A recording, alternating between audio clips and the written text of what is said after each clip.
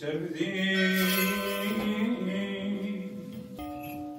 Porfiran eyvan etem O perivanon donoranon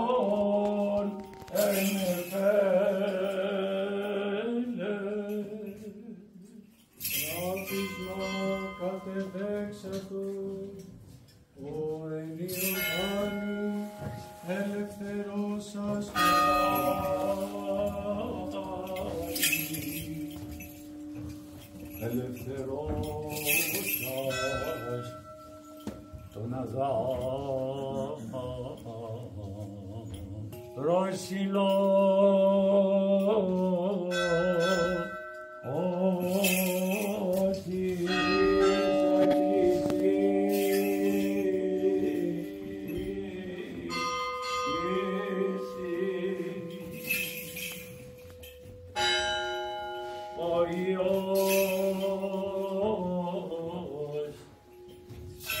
της Παρθένου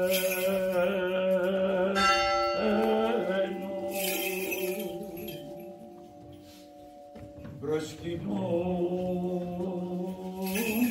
σου τα πάθη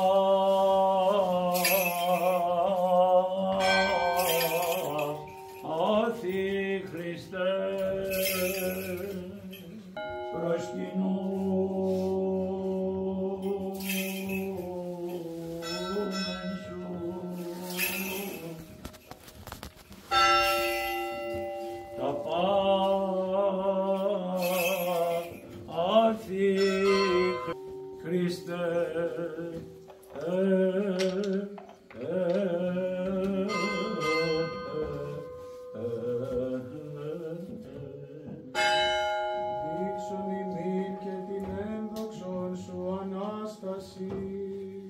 δείξον ημίν